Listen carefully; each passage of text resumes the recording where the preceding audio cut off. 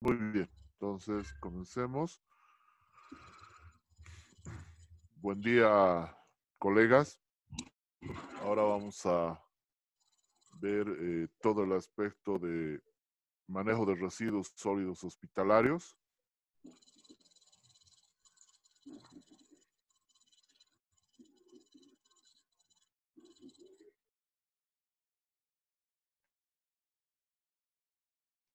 Muy bien. Eh, hay una clasificación que se hace. El temario es definición, clasificación y manejo. Eso es lo que vamos a ver eh, hoy durante esta hora. ¿Qué son los residuos hospitalarios? Es lo que debemos preguntarnos en cuanto a manejo. Son sustancias, son materiales, son subproductos, ¿no? Eh, dependiendo del estado, puede ser líquido, puede ser gaseoso, puede ser sólido. Dentro de esto están los fluidos biológicos, obviamente. Están los microorganismos, están las sustancias químicas, etcétera, eh, que son generados en la prestación de servicios de salud, incluidos actividades de promoción, de prevención, de diagnóstico, de tratamiento y rehabilitación de la enfermedad. Que eso engloba el quehacer del personal de salud también, ¿no? Eh, ¿Qué hacemos durante el acto médico, durante el acto del personal de salud, durante el proceso salud y enfermedad? Hacemos promoción de la salud, hacemos prevención de la enfermedad, hacemos diagnóstico tratamiento y rehabilitación de la enfermedad. Entonces, los residuos hospitalarios, dentro de la definición, tenemos nuestras tres partes. Tenemos actividades o procedimientos para dar un manejo adecuado con la mayor optimización y con el menor riesgo para el personal de salud. Por lo tanto, minimizamos los riesgos de peligros potenciales eh, y damos al trabajador salud y al paciente seguridad.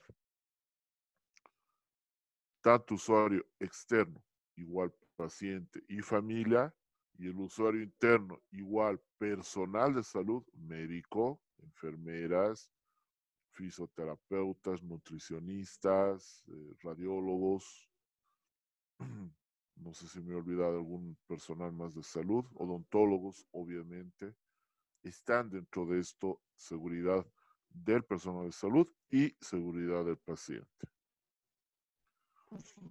Una vez que tenemos claro de qué vamos a hablar, de qué son los residuos sólidos, de cómo tenemos que manejarlo, de qué protegemos, pasamos a la clasificación de los residuos sólidos.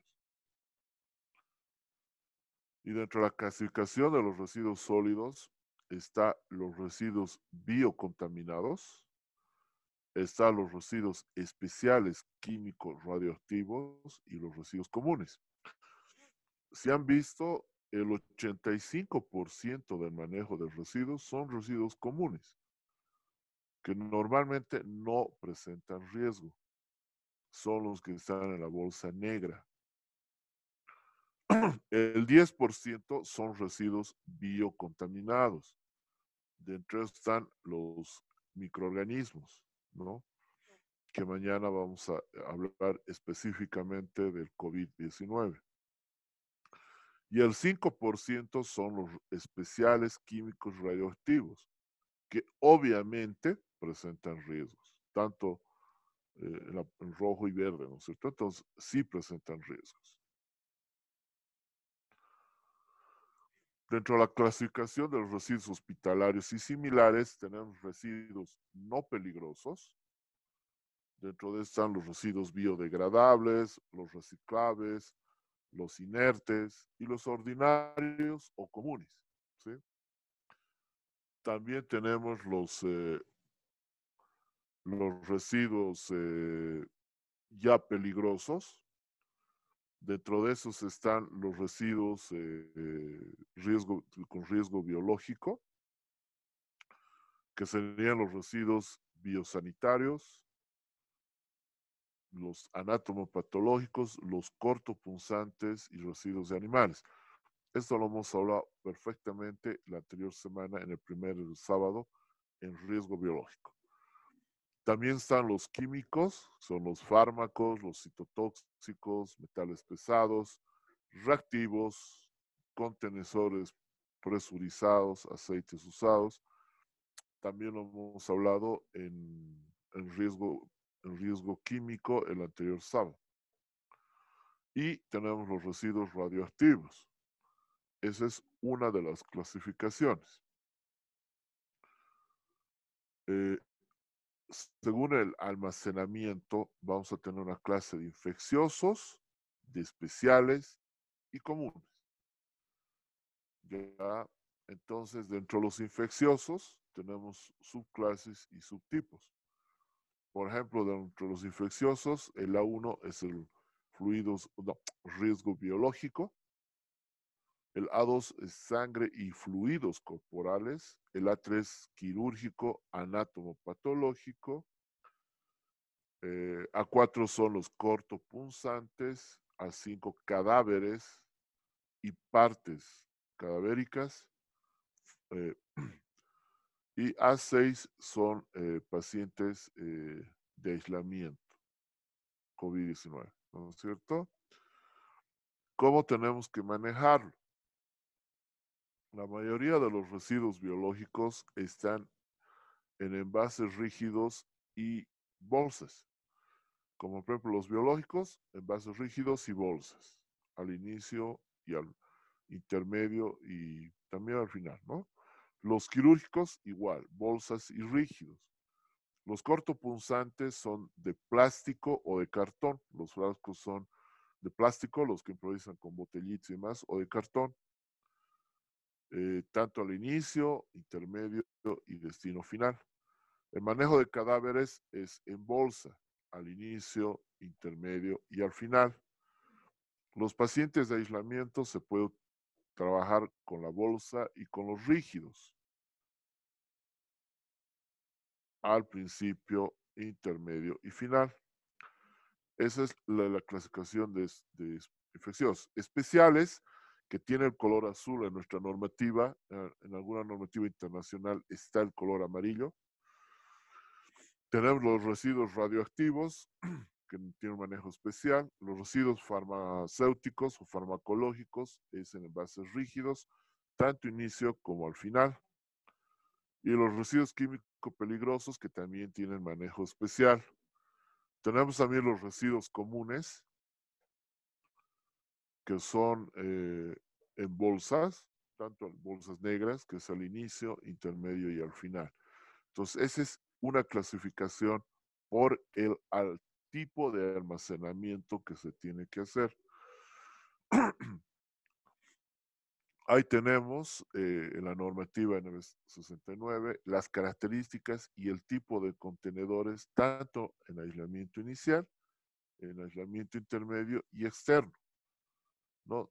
Es la, misma clasificación anterior, pero en forma detallada. En infecciosos, por ejemplo, si vamos al manejo de fluidos, ahí está el tipo de recipiente, rígido, que puede ser plástico cartón, bolsa de polietileno, máximo 20 litros, al iniciar.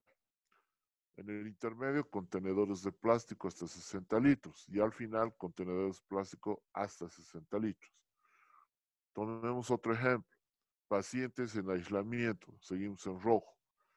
Al inicio, bolsas de polietileno, 60 micrones dentro de un recipiente o soporte para bolsa, máximo 40 litros. Almacenamiento intermedio, contenedores de plástico de 60 litros. Y final, también de 60 litros. En especiales, hablemos, por ejemplo, de farmacéuticos o farmacológicos, que es color azul. Al inicio tenemos un recipiente rígido que puede ser de plástico de cartón denso, máximo 200 litros. Manejo intermedio, no hay almacenamiento intermedio en fármacos. Y destino final, contenedores de plástico hasta 200 litros. Los comunes, bolsas de recipiente de plástico lámina máximo 60 litros, intermedio contenedores de plástico hasta 60 litros y final contenedores de plástico 3, eh, 3, eh, o sea, más de 3 litros como máximo, ¿sí? Tenemos el manejo, entonces esta diapo les va a servir para qué eh, tipos de recipientes utilizar en almacenamiento inicial, en intermedio y almacenamiento externo o destino final. Esta clasificación de residuos hospitalarios. Por ejemplo, los de clase A, que son los infecciosos, tenemos los biológicos, la A2, eh, sangre y fluidos corporales, el A3, químico anatomopatológico, el A4, cortopunzantes, A5, cadáveres o partes de animales contaminados, A6, asistente de pacientes aislados.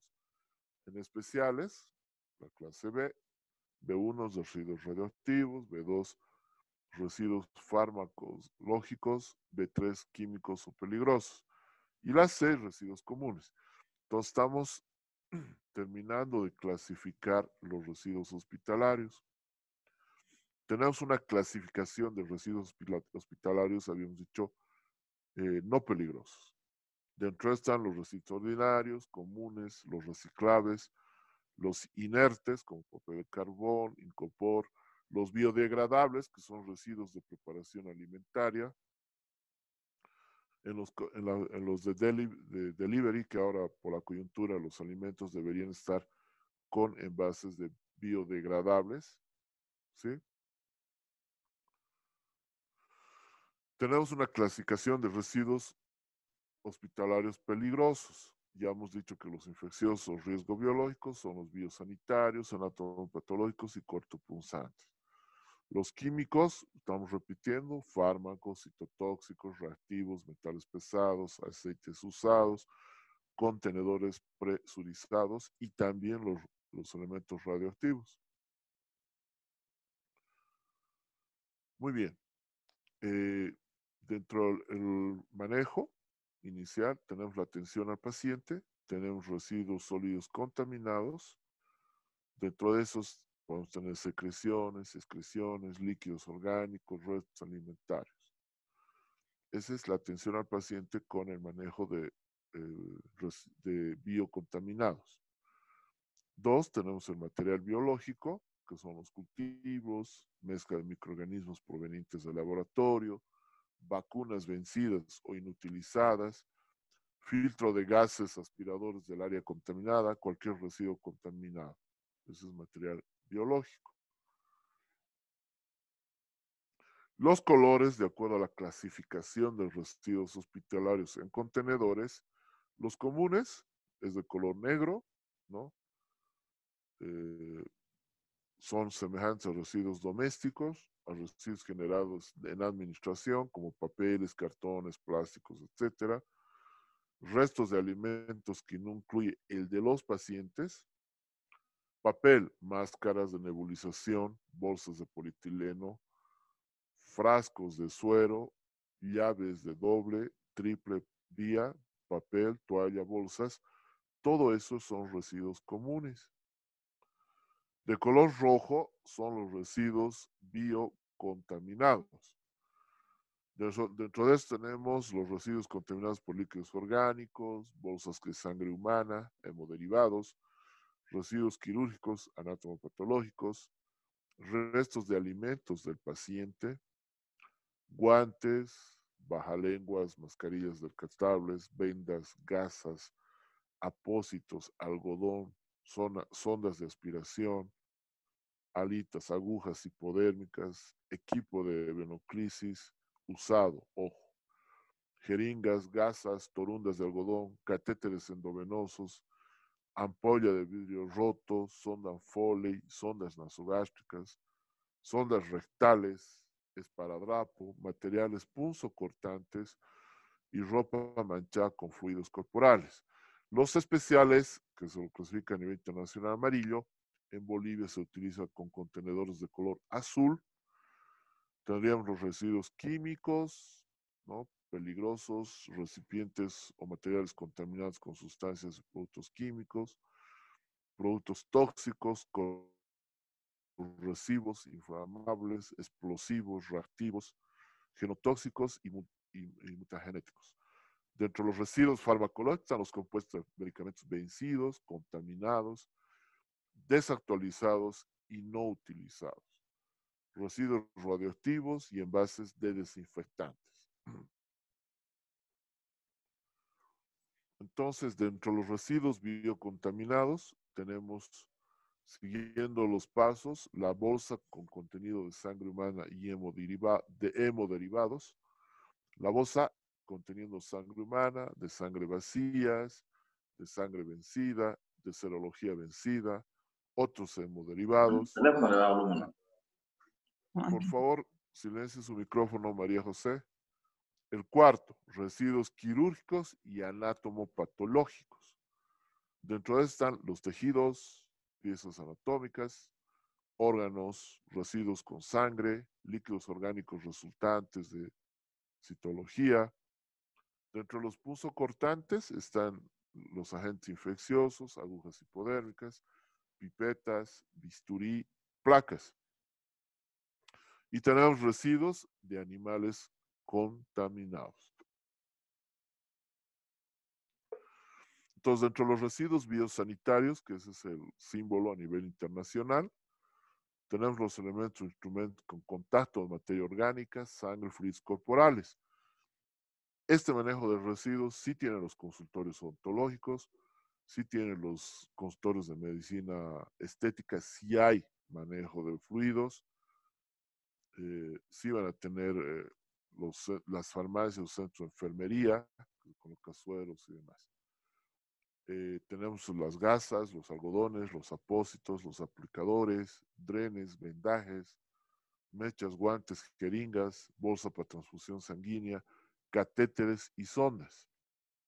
También los consultores externos, obviamente si se va a hacer curaciones y demás.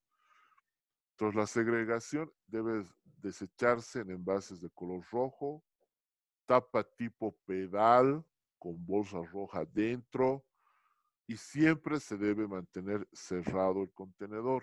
Entonces, eh, esos tachos con tipo pedal. A veces se los tiene que abrir con la mano y eso es una barbaridad. Y siempre tiene que quedar cerrado y dentro debe tener una bolsa de color rojo. Los residuos anatomopatológicos son los provenientes de restos humanos, de muestras para análisis, biopsias, tejidos orgánicos amputados, partes, fluidos corporales, placenta, orina, sangre, vómitos, etc. ¿Qué tenemos que tener en cuenta siempre? Desechar los líquidos como orina y vómitos directamente por el alcantarillado. Las placentas, coágulos, restos de amputaciones, bolsas con fluidos, biopsias, tenemos que desechar en bolsas de color roja doble, exclusivamente para residuos biológicos. Debemos cerrar los contenedores con fluidos corporales y si es necesario asegurar la tapa y desechar en doble bolsa roja. En lo posible, siempre congelar. Los residuos cortopunzantes son aquellos que por sus características punzantes o cortantes pueden dar origen a accidentes percutáneos infecciosos. Limas, lancetas, cuchillas, agujas, pipetas, láminas de bisturí y vidrio. La segregación. Siempre debemos desechar en contenedores rojo tipo guardián debemos esperar a que se llene a tres cuartas partes de su capacidad o cuando se cumpla 30 días de uso del recipiente.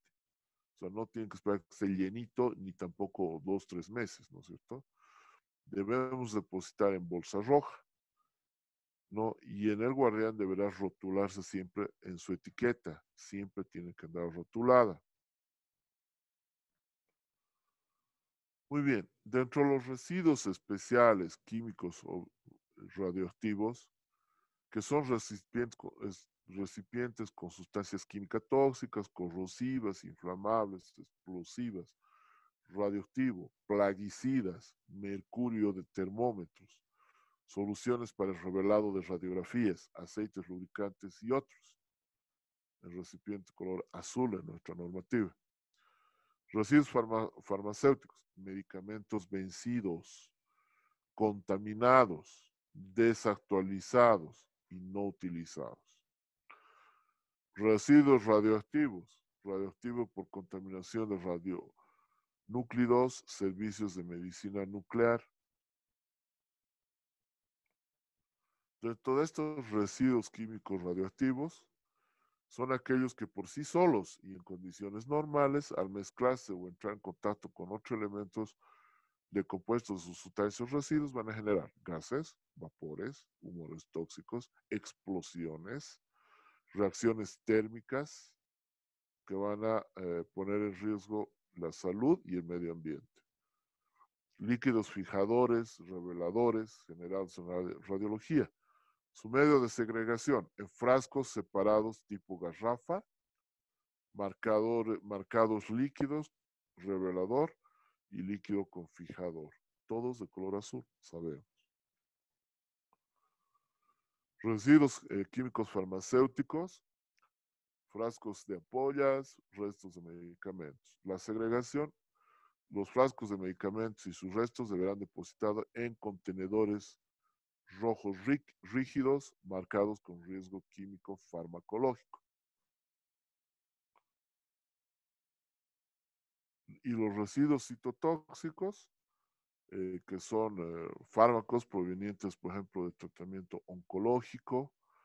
Entonces aquí tenemos frascos de tratamiento citotóxico. ¿Ya? Eh, jeringas de aplicación de citotóxicos.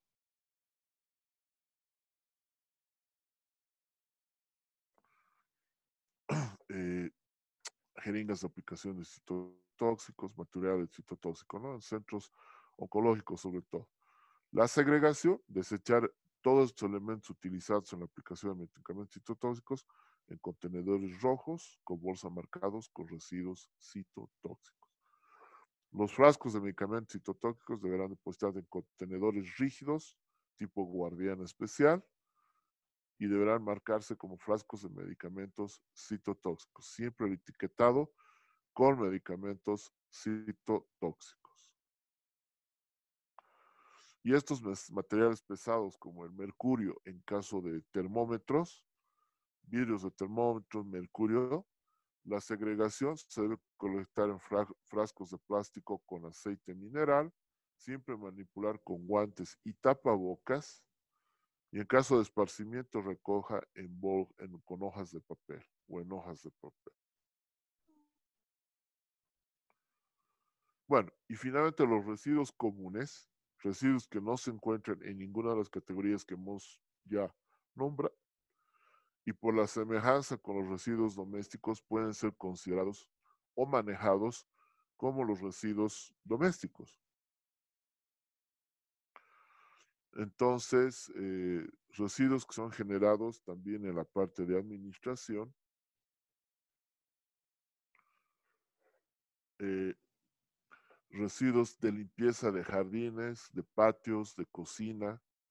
O sea, en realidad los que tenemos en, los domicilios y en las oficinas. Papeles, cartones, cajas de plástico, restos de preparación de alimentos, etcétera. Entonces, esos son en bolsas negras y en tachos comunes también cerrados herméticamente. Y ya, esta clasificación, ¿qué va a generar? Etapas para su manejo. Desde la separación hasta el tratamiento, ¿no? Este manejo debe estar claro para trabajadores, para pacientes, para público y cuidado del medio ambiente.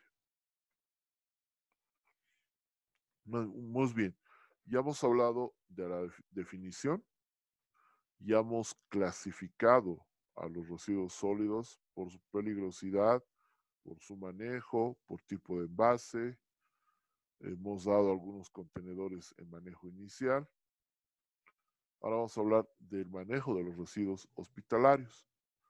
Vamos a empezar con la generación del, del, del residuo, perdón, el tipo de almacenamiento, el tipo de colección, el almacenamiento central, el manejo o tratamiento, el transporte externo y el destino final. Tanto la generación, el almacenamiento, recolección, almacenamiento central y tratamiento son de manejo intrahospitalario.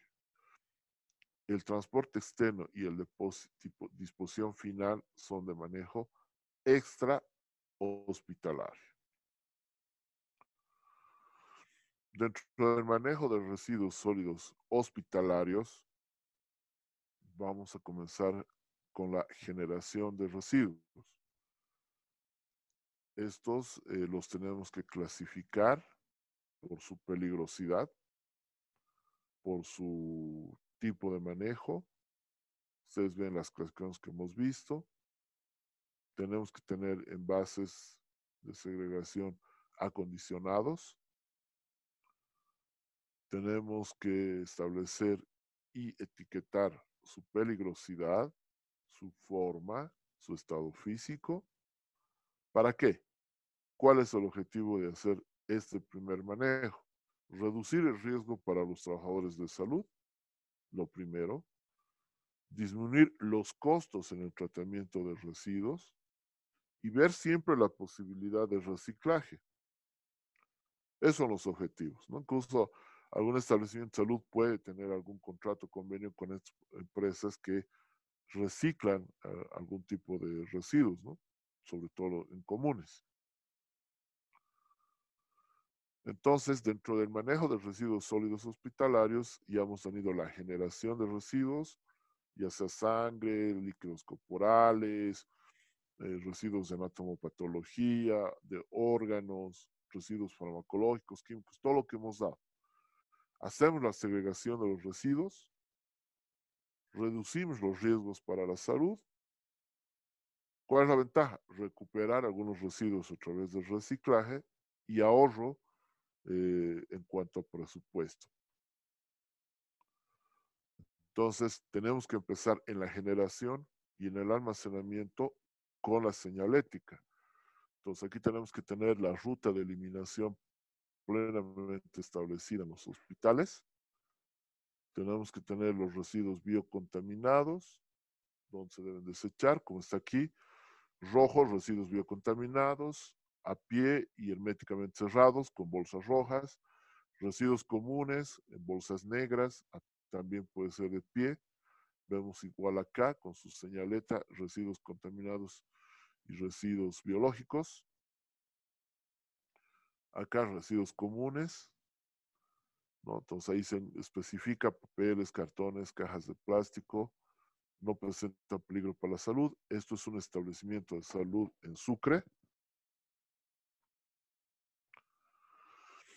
Una vez que tenemos la generación y el tipo de almacenamiento claramente establecido con una señalética de todo el trayecto de la generación desde la segregación, de acondicionamiento, segregación, hasta eh, antes del destino, del transporte externo y destino final, intrahospitalar. Entonces, tenemos que garantizar con ese acondicionamiento la identificación apropiada del residuo, si es común, si es biológico, si es químico, ¿no? o citotóxico. Tenemos que facilitar con una buena identificación y con un buen acondicionamiento el transporte y limpieza y debemos mantener la hermeticidad del mismo. Tenemos que clasificar el tipo de residuo por peligrosidad, por el tipo de manejo, saber el tipo de envase en el inicial, en el intermedio y destino final. Una vez que sabemos la clasificación y manejamos eso, vamos a poder escoger bien los, las bolsas, los recipientes, el tipo de recipiente a nivel inicial, les hemos dado el tipo intermedio, y el destino final el establecimiento de salud para que pueda ser transportado externamente y tener una disposición final eh, fuera del hospital. Muy bien, entonces hablemos del acondicionamiento. Primero, no debe exceder los dos tercios de la capacidad del envase. Jamás. No debe exceder los 30 días eh, durante los 30 días de, uso de este de dispositivo de almacenaje, ¿no? Obviamente, si antes de los 30 días llega a los dos tercios de su capacidad, no puede seguir siendo usado. Tenemos que utilizar bolsas intercambiables con capacidad del 20% superior al volumen del recipiente para que pueda salir y ser manejable. Y las bolsas deben ser cerradas sin aire. Todo esto es el acondicionamiento. Dentro del acondicionamiento tenemos que saber claramente manejar el tipo de residuo que estamos manejando, valga la redundancia. Si es un material biocontaminado o biológico, si es un residuo común o si es especial. Si es biocontaminado, bolsas rojas. Si es comunes, bolsas negras. Si es especial, internacionalmente bolsas amarillas. En nuestro medio, bolsas de color azul. Tenemos que hacer la generación, entonces tenemos que poner el símbolo.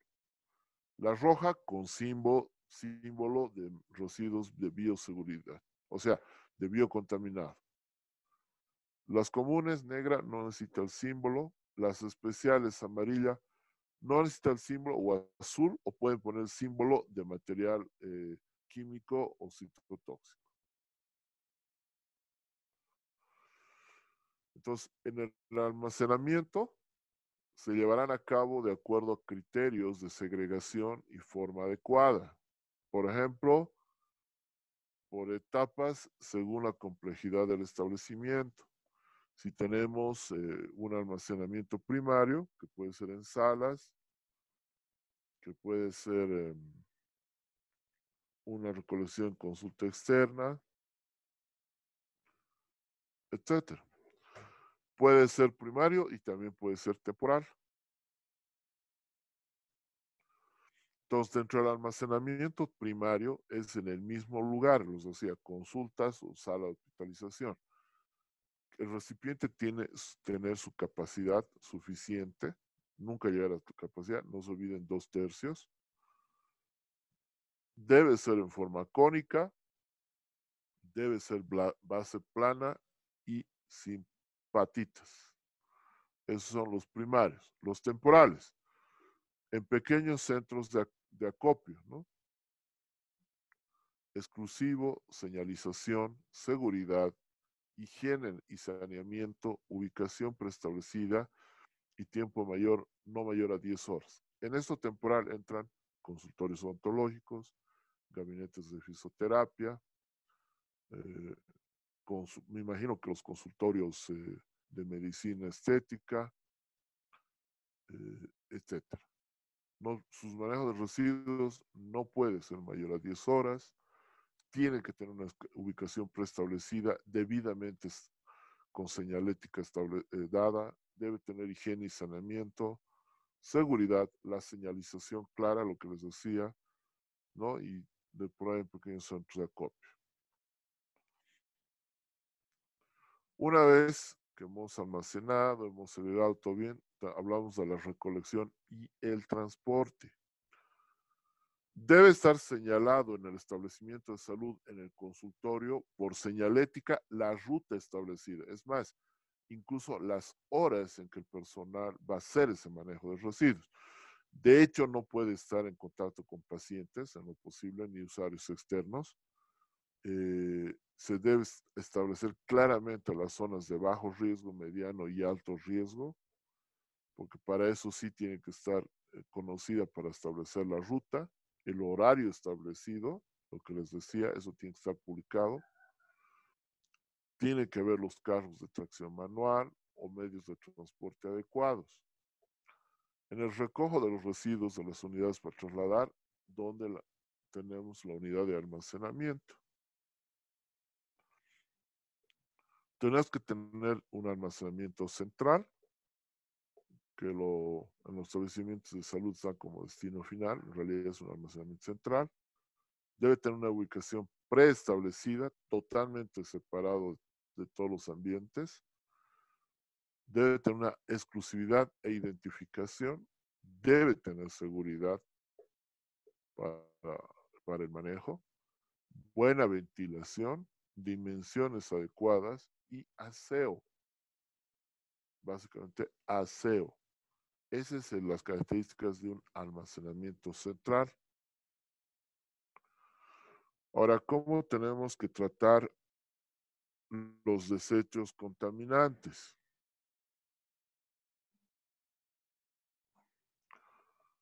Podemos hacer eh, productos de incineración. La mayoría de los eh, productos biológicos eh, los terminamos incinerando.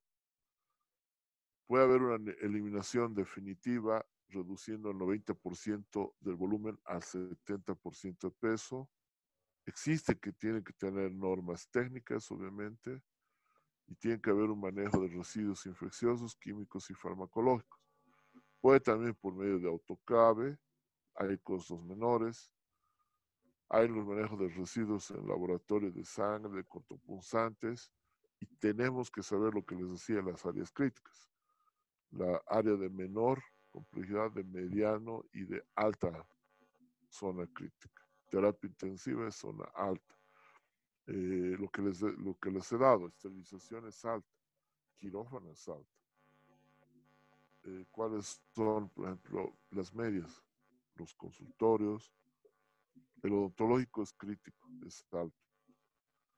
Eh, los gabinetes de, fisioterapia es medio. Las oficinas administrativas eh, serían eh, de bajo riesgo. Eso un poco lo tienen ya con la clase, hay que ir concatenándolo.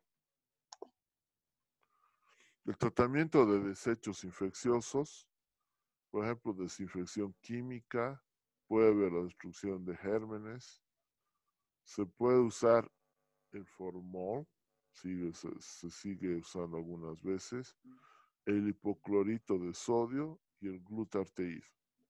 ¿Ya? Dentro de los residuos líquidos, la sangre y secreciones pueden ser manejados. Hay otras técnicas como microondas, irradiación, trituración, aglutinación o encapsulación. Eh, hay la recolección y transporte externo. La colección y transporte externo. Está la periodicidad. Está el planeamiento. Está la selección de residuos.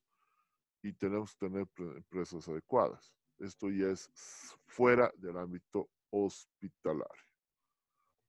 Y tiene que haber una disposición final, ¿no? Entonces, dentro de la disposición final, después de un transporte externo, un transporte adecuado con la empresa que se dedique, dentro de la disposición final está la incineración, está el relleno sanitario, está el relleno sanitario manual, está el reciclaje, está el alcantarillado, está el hombricultivo. Estos son métodos de disposiciones finales.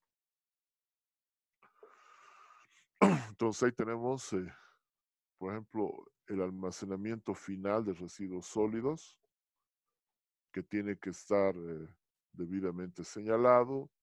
Ahí vemos el personal, el horario. Eh, por dentro tenemos los tachos con residuos comunes, con residuos químicos, con residuos biológicos.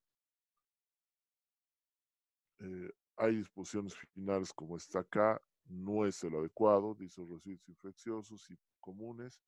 Aquí están los comunes con cartón y demás, y aquí están los infecciosos, que ahí están los tachos ahí abajo. Este no es el adecuado, este sí. Y aquí tenemos eh, en forma intermedia. Muy bien. Hasta ahí hemos tenido el manejo de bioseguridad tanto dentro del hospital hasta su almacenamiento final, como el externo, que es el transporte, y el destino final. Muy bien, pero para todo tenemos que tener medidas de bioseguridad. También es de acuerdo al tipo de manejo biológico que se va a tener personal. si es biodegradable y químicos, es el de mayor complejidad. Tendría que estar con su pijama, sus batas, sus botas de goma, sus guantes de látex, ¿no? que son reutilizables, eso los hemos hablado el día domingo, su gorro, su barbijo o, mascarilla con filtro, gafas o, y mascarilla facial. Y eh, de acuerdo al nivel del manejo, va a estar con relación a bioseguridad personal. Dentro de la bioseguridad del personal, ¿cuál es el objetivo? Proteger la salud y la seguridad del trabajador, del personal de salud. Debe tener el uso de un uniforme adecuado, uso de gorro, uso de guantes de látex, esa diferencia de los de bicrilo y eh, de látex común. Estos son los de plástico, los que incluso utilizan algunas casas para lavar la ropa. Dentro tienen que tener guantes de látex, obviamente. El segundo con solución especial es reutilizable. Tenemos que hacer medidas preventivas frente a los riesgos producidos por qué? Por elementos biológicos, físicos, químicos y mecánicos. Esto lo hemos hablado el primer sábado de los factores de riesgo personal. Siempre se debe tener el lavado de manos, se debe tener el uso de lentes y mascarillas faciales. Al personal de limpieza también se tiene que dotar y el personal de salud. Niveles de seguridad.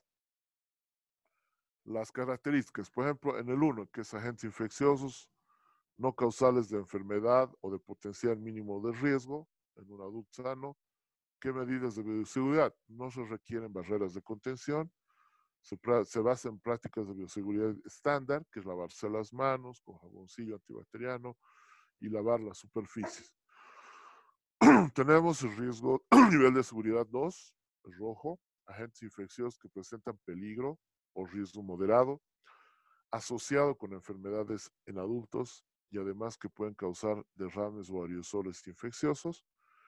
El peligro de transmisión puede ser por herida percutánea, puede ser por ingestión o exposición de las membranas mucosas. En este nivel se requiere uso de, del gabachón, o sea, del mameluco, guantes y mascarillas. se debe señalizar las puertas con signo internacional de riesgo biológico, el símbolo lo han visto. El 3, verde, agentes infecciosos, causales de enfermedades graves o letales y de transmisión por aerosoles. Además de las medidas utilizadas en el nivel 2, deben estar separadas del tráfico habitual en el edificio, totalmente separadas. Nivel 4, tenemos agentes peligrosos de alto riesgo de enfermedad letal individual o comunitario, transmisibles fácilmente de un individuo a otro, de animales al ser humano. Aquí está el COVID, el SARS-CoV-2, COVID que lo vamos a hablar mañana. Se utilizarán medidas necesarias anteriores y también el acceso de esta área es totalmente restringido. El personal debe estar capacitado para poderse colocar los CPPs y poderse sacar los CPPs, asistidos por una enfermera o una persona experta en el mismo. Se requiere equipo de protección personal, cambio completo de ropa y calzado y debe tratarse previamente a su eliminación con eh, el agua. ¿Ya?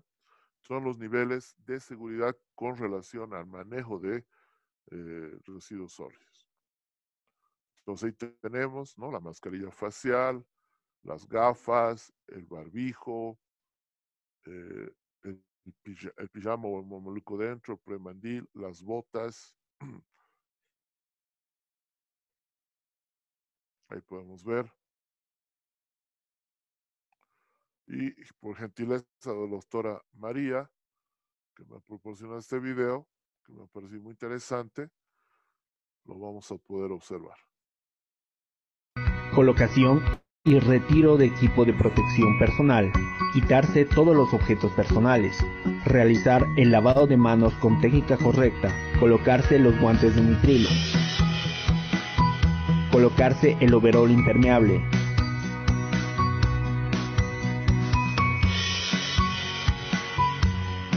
colocarse gorro quirúrgico,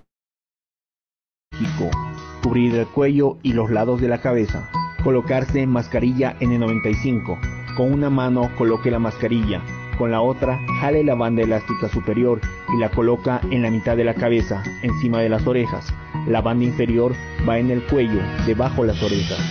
Con la yema de los dedos, moldear la boquilla ajustando a la forma de la nariz.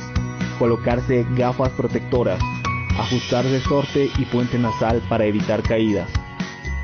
Colocarse la careta. Subir la capucha del overol. Colocarse un par de botas quirúrgicas. Colocarse la bata quirúrgica impermeable desechable y ajustar. Colocarse los segundos guantes de látex. Secuencia de retiro de equipo de protección personal. Higiene de manos con guantes puestos, utilizando técnica correcta. Enrollar a partir del cuello de la bata, sin tocar la parte frontal de la misma, para evitar contaminar los guantes. Depositar en el bote de basura en el área sucia. Higiene de manos con guantes. Retirar el protector del rostro. Higiene de manos con guantes. Bajar la capucha del overol de adelante hacia atrás, enrollando hacia adentro con cuidado de no tocar la cara para no contaminarla. Higiene de manos con guantes puestos. Retirar el overol. Incline la cabeza hacia atrás para bajar la cremallera sin tocar el uniforme quirúrgico. Después de sacar el overol de los hombros, quitarse los guantes externos al mismo tiempo que saca los brazos de las mangas. Con los guantes internos puestos, enrolle el overol desde la cintura hacia abajo y desde adentro hacia afuera hasta la parte superior de la bota quirúrgica. Higiene de manos con guantes puestos. Retirar el equipo de protección ocular tirando de la banda elástica de atrás hacia adelante. Colocarlos en la solución desinfectante. Higiene de manos con guantes puestos. Retirar la mascarilla N95. Sujetar la tira inferior y pasarla por la cabeza.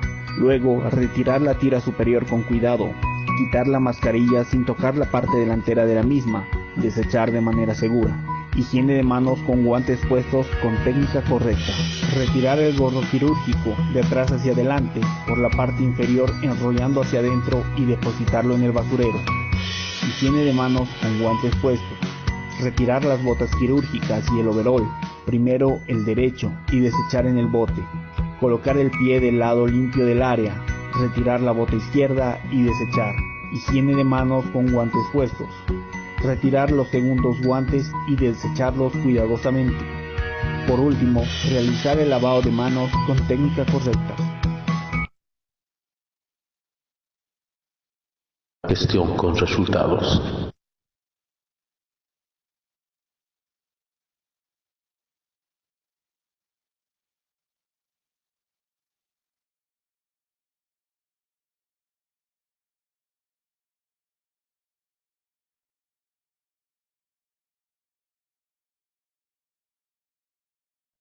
Muy bien. Eso es. Gracias, doctora Guaranca, que nos ha puesto ese video. De todas maneras, mañana vamos a ver incidir mucho en el colocado y sacado de los CPPs. Hoy, hoy solamente los hemos mostrado porque el, la charla es solo de manejo de residuos sólidos y bioseguridad en el manejo de los residuos sólidos. Esto en caso de cadáveres, en morgue, también se debe utilizar el pijama, una, una bata, la, la, la bata, el delantal de lona, los guantes lácteos, guantes de goma, se procede a necropsias, mascarilla facial y obviamente el barbijo. Entonces, la manera como se tiene que hacer el trabajo y manejo de cadáveres. Bueno, de, desde ya eh, las, la presentación de hoy y mañana está en mi canal de YouTube. Y me imagino que la doctora María nos gentilmente nos va a pasar el, la clase para que se lo sube el vínculo, el link, hasta creo en la tarde. Perdón. ¿Hay algún tipo de preguntas? Voy a ver el chat.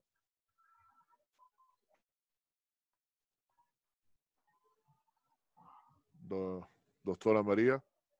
Doctor, esta tarde ya tendremos el video de la clase en vivo para que usted lo pueda subir al canal y los, los alumnos tengan acceso para repetir y reforzar lo que se ha aprendido, que es bastante en esta clase. Ya. ¿Hay preguntas?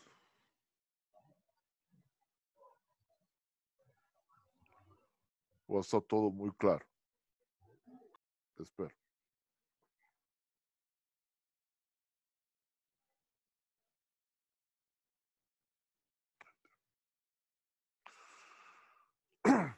Al parecer, María, no hay preguntas. Una pregunta, doctor. Buenos días. Ah, Nelson, sí. Adelante. yo siempre, molestándolo. No, no, no es eh, molesta. Yo creo que es más bien, es bueno que pregunten, porque así nos aprendemos todos, incluso yo, eh, Nelson. Gracias.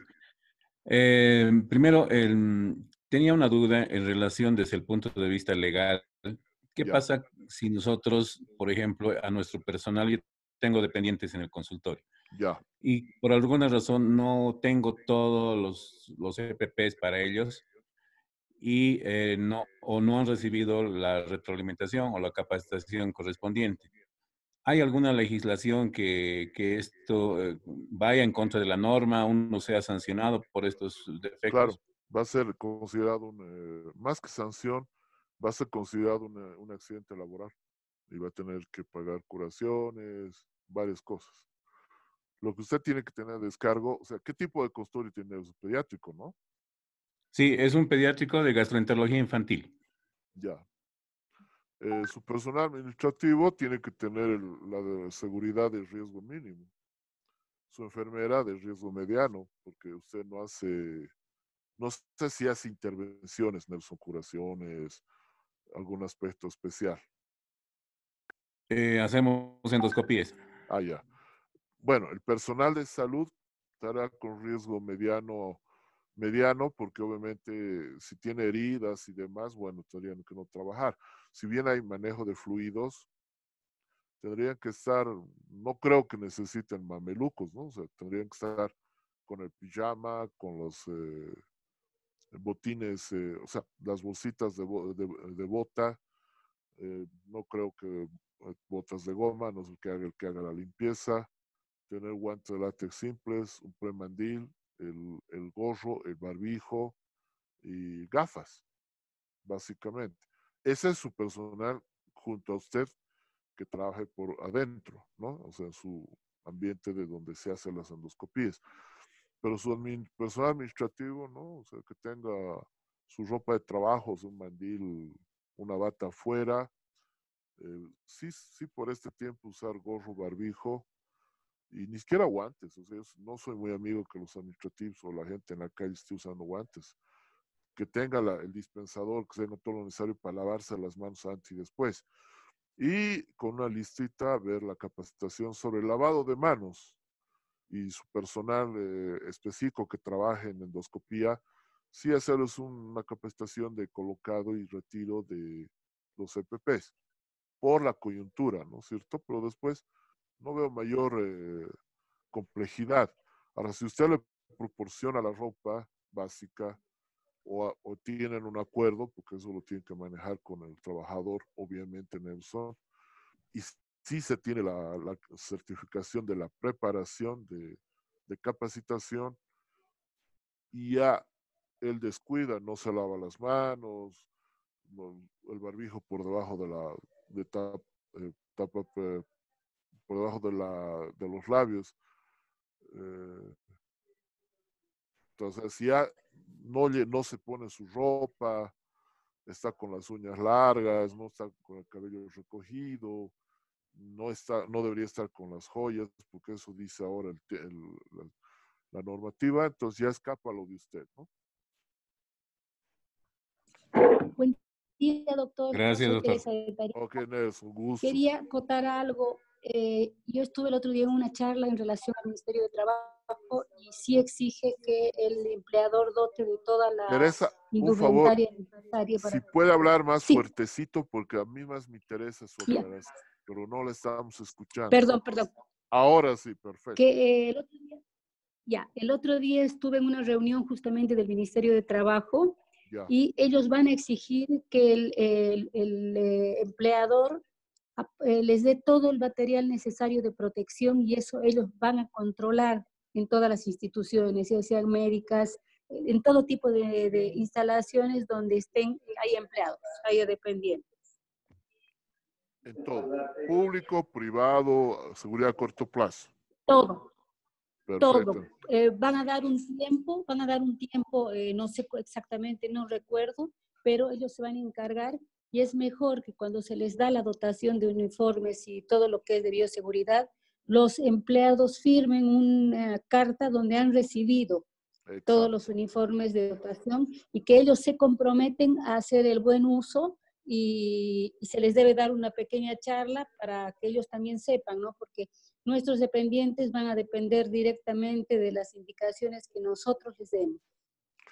Gracias, Teresa. no está muy lejos en las recomendaciones. Exacto, exacto, doctor. Gracias. Gracias. No a usted por la aclaración. Como le digo, todos vamos a aprender. Con, es bueno preguntar. ¿Alguna otra pregunta?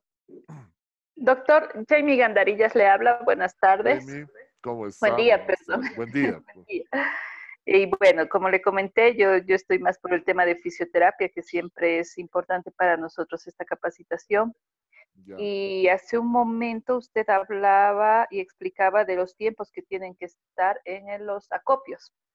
Mire, actualmente hay un tema y eso quisiera que me oriente, por favor, en el tema legal de cómo realmente podemos porque si bien las autoridades nos exigen cumplir obligaciones, también podemos exigir los derechos. ¿Por qué le digo esto? Porque aquí en Cochabamba al menos nos exigen un contrato con EMSA. Este contrato con EMSA tengo entendido que, por ejemplo, incluso los odontólogos pagan 40 bolivianos mensuales. A nosotros los fisioterapeutas nos exigen 80 bolivianos mensuales. ¿Por qué? ¿Por qué es El Colegio de Odontólogos había hecho un convenio el cual tienen un solo centro de acopio y recogen la, basura una vez al mes. Los DEMSA siempre recogen la basura una vez al mes. Y entonces nosotros, por acceder a este beneficio de que sea más económico, perdón, estábamos pensando en acatar la misma modalidad.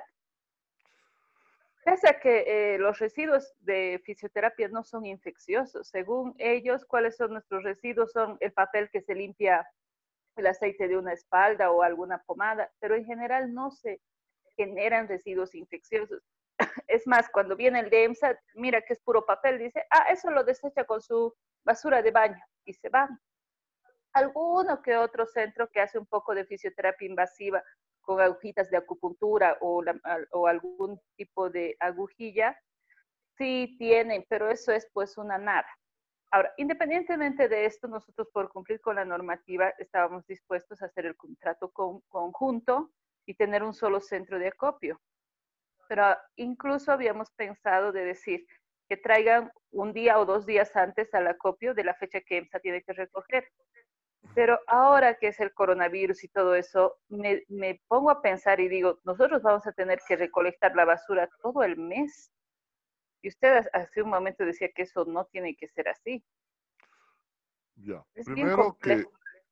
Eh, perdón, para terminar y ya no intervenga para todas no, mis no, dudas. No, intervenir, no hay problema la parte legal de qué artículos o qué argumentos podríamos utilizar para hacer alguna representación ante EMSA, porque de hecho ellos nos están cobrando extra, no están cumpliendo con su parte del trato de venir a recoger como debería, como se indica que tendría que ser una recolección de, de basura infecciosa y son esas cosas preocupantes, ¿no? Que a partir de ahora, ¿cómo? Porque si igual podríamos generar y decir, ya vamos a hacer un centro de acopio por ahorrar unos pesos, a la persona que va a estar ahí en ese centro de acopio estaríamos arriesgándola porque los DEMSA van a tardar un mes en venir a recoger la basura. Primero, Jaime, me preocupa el convenio que tienen los odontólogos en Cochabamba. Bueno, sí son todos, porque por, por ellos, por concepto, son de alto riesgo, no son de riesgo medio y en el COVID son de alto riesgo porque ellos trabajan en la boca. Es exactamente o más complicado que los bioquímicos que tomen la muestra eh, en casos COVID. Ojo, tomar un hisopado de la faringe o una aspiración que haga el médico especialista. Ellos están trabajando en la boca y están en contacto fosas nasales y boca, donde está el virus por excelencia. Entonces, me parece realmente preocupante que el manejo de residuos de, de, almacenamiento final al transporte y destino final sea cada mes, cuando debería ser diario, o por lo menos interdiario. O sea, primero, una barbaridad.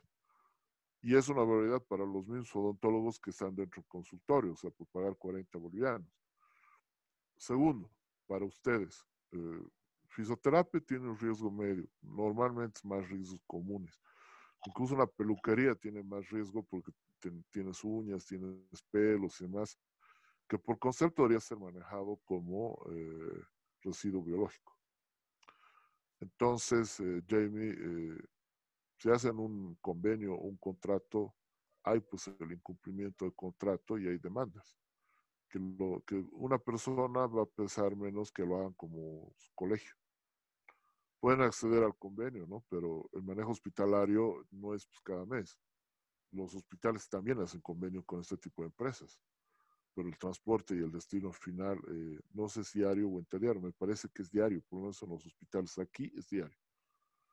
Entonces, si tú firmas un convenio, solo tiene que respetar, o sea, si hay un contrato, porque un convenio es un contrato, si hay algún abogado acá nos puede ayudar, y si hay incumplimiento hay que demandarlo. Pues me parece una barbaridad que los odontólogos hayan accedido a un, a un transporte y destino final mensual, donde en el COVID ellos son riesgo alto.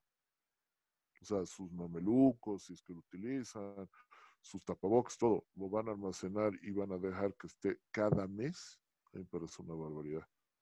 Y que el usuario externo no lo sepa, debería saber. No sé si van a estar llenos los consultores.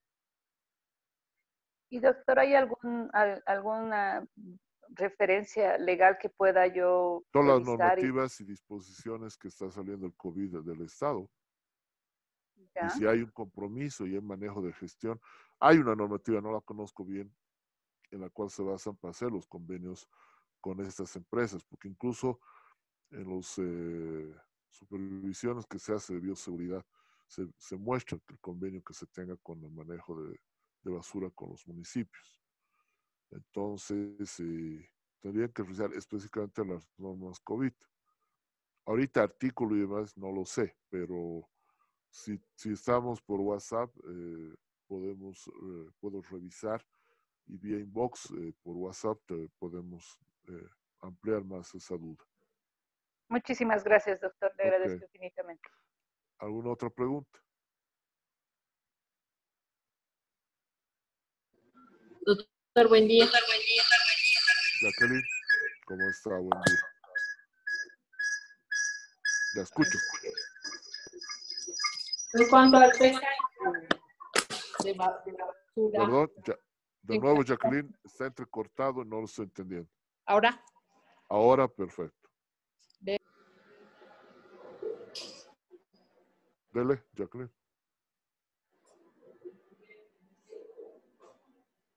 O si, si su micrófono está mal, Jacqueline, eh, tiene el chat.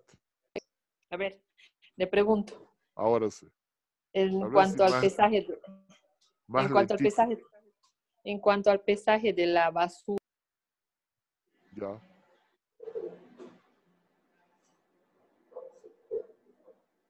Algo de pesaje, pero ¿qué?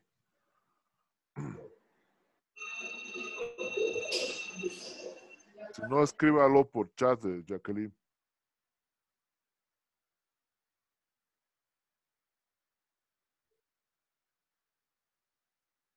O si no, por inbox y eh, a nivel del WhatsApp, si es que ahora no se puede. María. Doctor, no hay más preguntas. No hay más, preguntas. Hola. Sí. Doctor, ¿cómo está? Buen día. Le habla el doctor Fernando Fuertes de, de este Potosí, odontólogo. Doctor Fernando, ¿cómo está? Ah, qué bueno, porque así me va a poder dar su criterio de la colega que decía en Cochabamba. ¿Qué dice, doctor? Pregúnteme primero. Sí, doctor. Bueno, doctor, aquí en Potosí, nosotros tenemos un servicio de de residuos sólidos eh, que, que, cancelamos ¿no? mensualmente. Y este, este carro recolector viene tres veces eh, por semana. Ah, lunes, miércoles pues. y viernes. Ya. Claro. Pero doctor, comentarle que no todos los colegas pues eh, tienen conocimiento del servicio o es que hacen eh, o que toman este servicio, ¿no? Porque como usted verá, doctor, hay, hay bastantes consultorios, ¿no? Que, que, funcionan aquí en Potosí. Entonces, no sé si todos los colegas tienen el acceso a este servicio, doctor. ¿Hay colegio de odontólogos? hay colegio de odontólogos. Ellos tienen que trabajar, doctor, con el CEDES, porque hay que ver el aspecto de habilitación. O sea, si todos los consultorios están habilitados y es de conocimiento con el colegio de odontólogos, como se está trabajando acá, por ejemplo, la próxima semana van, van a salir en supervisión en Sucre. Entonces, eh, tendrían que socializar un poco más para que los odontólogos puedan inscribirse, porque me imagino que el convenio deberían hacerlo a través del colegio. Y poco entonces van a presionar a que también los odontólogos se puedan colegiarse, porque ustedes estarían protegiendo su, su salud, ¿no es cierto? Y el colegio tendría que tener un mecanismo de comunicación masiva, porque ahora tenemos medios de comunicación, los TICs, que podemos, que, que ya no podríamos argumentar que nadie conozca eso, ¿no? Pero Fernando, o sea, que Jamie tome apunte. En Potosí tienen el convenio de los odontólogos, pero es tres veces por semana, y eso es razonable. Tal vez Jamie pregunte bien que si los odontólogos, me parece una barbaridad, como le digo de nuevo en Cochabamba, que es una vez al mes. Tal vez el convenio es una vez al mes, como dice Fernando, pero interdiario, eso podría ser. Y Fernando, yo creo que tiene que tomar más fuerza el Colegio de Odontólogos y junto al CEDES comunicarles y empezar a supervisar también, ¿no? Porque dentro de la supervisión tienen que mostrarles el, claro, convenio. Bueno, doctor, y otro. Y, sí, sí. Y aportando, doctor, y a manera de pregunta también, nosotros como odontólogos y personal de salud, yo, por ejemplo, en la consulta particular, tratamos de cumplir todo, todos los, uh, los requisitos y todo el protocolo de manejo de residuos sólidos, ¿no? Sí. Pero, doctor, eh, yo personalmente he podido observar que aquí en el botadero municipal que tenemos en Potosí, el personal de, de, MAP, que es aquí la empresa que está encargada del recojo de, de, basura. Ya, externo. claro, eh, eh, no, no, lo, no cumplen, doctor, esta, esta, esta norma ahí. Yo fui alguna vez al botadero municipal a observar. En ahí no están clasificando la basura, ¿no? Como nosotros la estamos clasificando en bolsas rojas, residuos biológicos. Yo veo, doctor, alguna bolsa roja mezclada ahí en, en, el, en la basura común que están botando todos los, los recogedores de basura. Y también, doctor, veo gente, ¿no? Buscando. Hay gente que vive de eso también yo realmente, doctor, no sé. Reciclaje, botellas, más. Eh, claro. Termina, Fernando, para yo comentar. Entonces, doctor, yo, yo veo, por lo menos aquí la situación en Potosí, que esto del manejo de residuos sólidos, eh, en caso de las empresas encargadas de esto, no, lo están manejando adecuadamente, ¿no? Como debería de ser. No sé cómo sea allá en Sucre, doctor, o en otras partes del país, pero aquí en mm. Sí veo por lo menos que no está manejándose correctamente esto. La verdad que no he ido al botadero, ojalá no sea similar, pero no dudo que en el resto del país y mismo acá esté pasando eso. Pero hay una normativa nacional de manejo de residuos que tendría que cumplirse. La cosa es que hay que empezar nomás a hacer las denuncias públicas. No por usted, porque usted está cumpliendo, pero por esa, por esa gente, por ese personal. Habría que averiguar también que si la empresa eh, no ha cumplido en darles, porque muchas veces nuestros trabajadores también lo venden y no quieren usar. Los va a ver los domingos con el con la ropa de trabajo, las botas, cuando deberían usar en el, en el trabajo, o lo están vendiendo. Entonces habría que ver si realmente les han dotado, si los han instruido, porque hay una normativa nacional de manejo de residuos en botadores, en transporte externo y demás. Lo que no así, encontrando las normativas nada más a nivel hospitalario. Hay el de manejo de residuos hospitalarios, hay unas dos o tres normas que he encontrado, pero a nivel nacional hay un curso ley de manejo de transporte, reciclaje y demás, que hay que cumplirlo. El transporte externo y destino final sí está normal. El reciclaje de basura y demás. Un gusto, Fernando. No, gracias, doctor. El gusto es mío. Bueno, María, entonces eh, nos estaríamos viendo mañana a las nueve. Sí, doctor, muchas gracias, colegas. Doctor, le agradezco mucho la presentación. Eh, siempre de repente puede quedar alguna duda eh, a los alumnos, háganlo por WhatsApp, en la medida de las posibilidades les vamos respondiendo. Exacto. Muy bien, saludos, colegas. Nos vamos a estar viendo. hasta luego, María. Hasta luego, doctor. Gracias. Espero el video en la tarde, entonces. Sí, sí, esta tarde ya subimos. Ok, gracias.